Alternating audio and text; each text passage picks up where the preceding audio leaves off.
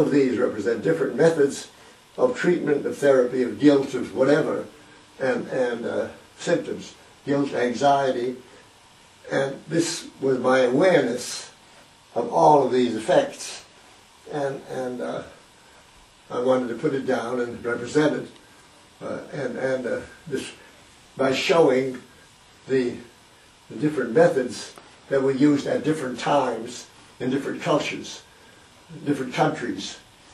I was basically talking about common factor. Now this was done uh, when I was at the clinic sometime between uh, 1927 and, and 33. Those